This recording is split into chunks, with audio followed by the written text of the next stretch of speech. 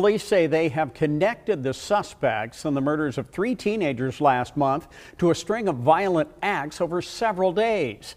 KCCI's Kayla James tells us what was revealed today when one of the suspects appeared in court.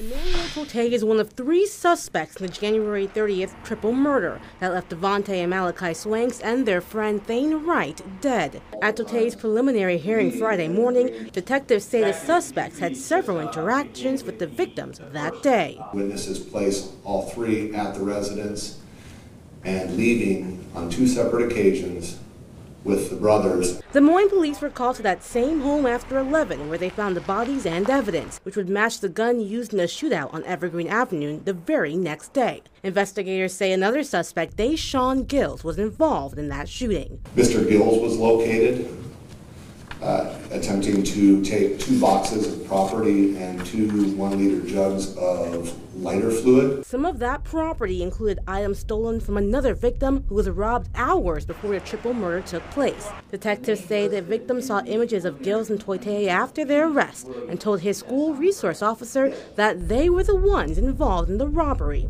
Both men are being charged of three counts of murder in the first degree and one count of robbery. Despite all the evidence presented in court, Tote's attorney says it's not enough, questioning this detective if any witness saw his client getting in the vehicle to drive to the Swanks home. You don't have anyone saying that. Is that correct at this point? No.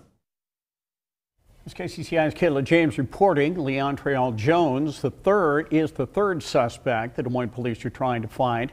Investigators are asking anyone with information to contact them.